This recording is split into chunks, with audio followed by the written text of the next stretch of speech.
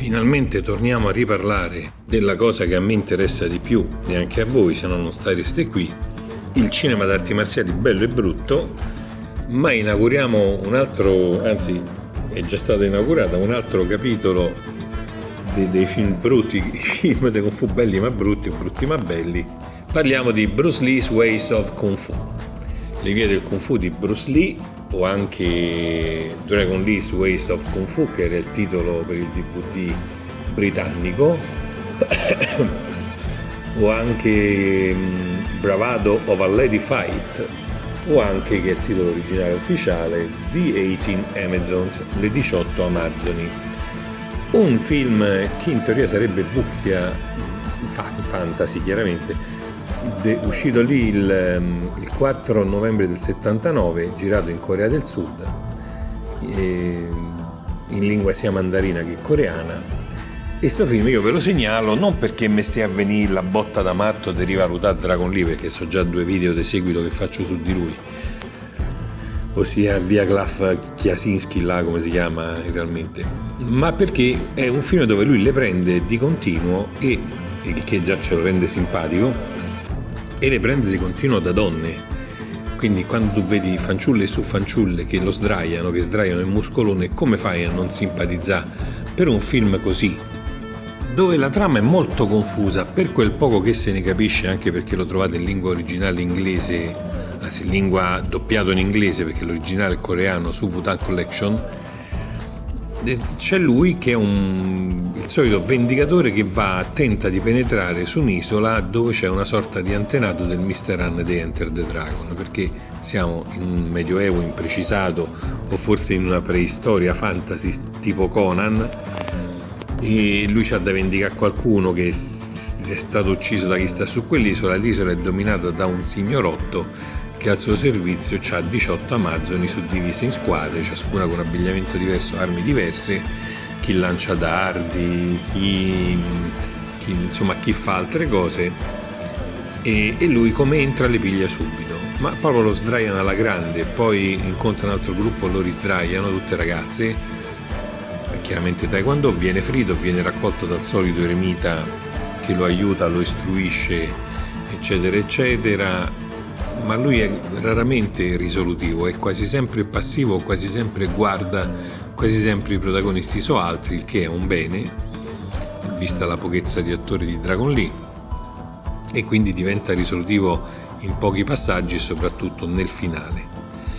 È un film che si distingue, oltre che per qualche decente scena di combattimento, qualche, qui siamo più nel campo del fantasy, quindi ci sono più armi armi fantasiose. Mm, combattimenti in verità ce ne stanno pochi, siamo più nel soprannaturale, no? Però si distingue per un art deco un po' alla Suspiria, cioè con scenografie dai colori abbacinanti, surrealisti, eh, non so, il rosso sparato, il rosso fuoco, il verde smeraldo, le grotte, perché questi vivono su un'isola di scogli, quindi stanno dentro una grotta a volte sono fintissime ma coloratissime, altre volte sono vere grotte di stalattiti piene di concrezioni spettacolari, un po' come la grotta di Castellaneta, mi pare che si chiami. E, ehm, no, anzi, ho controllato, ci sono pure andato, le grotte di Castellana, che comunque è sempre in Puglia. Castellaneta, Castellaneta è dove è nato il nostro il primo grande divo del cinema, Rodolfo Valentino. Il film è diretto da questo Kim Jung-yong o anche Philip Chan, eh, leggendo sull'Hong Kong Movie Database, ha fatto 17 film, un po' tutti così, un po' tutti così, che non vuol dire che siano brutti, sono brutti ma divertenti. Era anche assistente regista di John Woo nell'altrettanto brutto Hand of Death con Jackie Chan dello stesso John Woo e James Tien il capo dell'isola, il Mr. Han medievale, è il solito Kimi Kijo che interpretava testa di ferro in Cinque dita di violenza e generalmente appariva in tutti i film di Kung Fu coreani come caratterista nel ruolo di cattivo. Nel ruolo del misterioso vagabondo, che in realtà è un formidabile lottatore che è dalla parte del nostro, eh, c'è l'altro clone di Bruce Lee, ossia Chang Yitao, scomparso nel 2014, che a volte nei titoli dei suoi film clonati appariva come Bruce Lai, Bruce Lei o Dragon Lia. C'è poi l'ottimo Elton Chong, del quale un giorno parleremo perché era un ottimo stuntman e, e Taekwondo coreano che ha fatto diversi film anche da protagonista che noi però non abbiamo visto praticamente perché appartengono appunto agli anni 80 quando qui il genere non arrivava praticamente più. Dietro alla produzione ci stanno i soliti Godfrey, Godfrey O e Joseph Lai colpevoli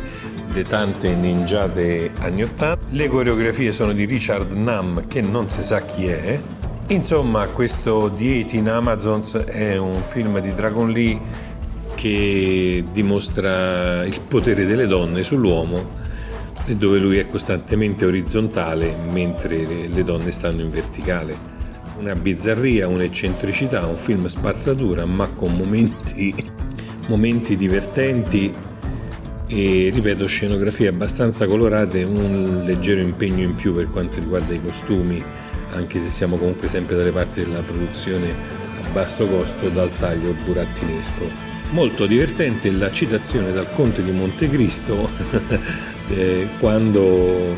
il nostro scappa da una prigione con l'aiuto, con l'aiuto di un prigioniero che sta là dentro in quelle grotte chissà da quanto tempo, una sorta di abate faria cinese. Ma che i cinesi i coreani anzi conoscano e citino il Conte di Montecristo non ci sorprende già che si tratta del più bel romanzo mai scritto sul tema della vendetta.